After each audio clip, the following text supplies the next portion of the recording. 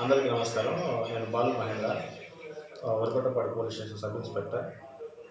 ఈరోజు కన్యంపాడు గ్రామ విఆర్ఓ గారు స- ఫిర్యాదు మేరకు కన్యంపాడు గ్రామ శివార్లోని రెండు అరవై తొమ్మిది పన్నెండు సర్వే నెంబర్లో గుర్తు తెలియని వ్యక్తులు అగ్రిగోల్డ్ సంస్థకు సంబంధించిన జామాయిలు కర్రని అక్రమంగా కొట్టి తరలిస్తున్నారని చెప్పేసి రాబడి సమాచారం మేరకు అక్కడికి వెళ్ళడం జరిగింది.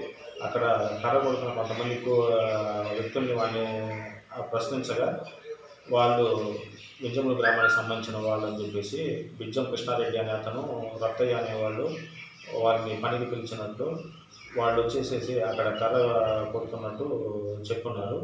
దానిపైన ఈ బిజ్జం కృష్ణారెడ్డి పైన రత్తయ్య పైన వాళ్ళ మీద కేసు రిజిస్టర్ చేశాము.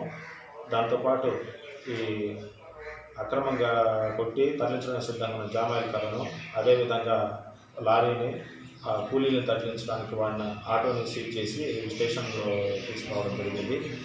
దీనిపై తదుపరి విచారణ జరిపి కేసుని ఫైనలైజ్ చేస్తాం.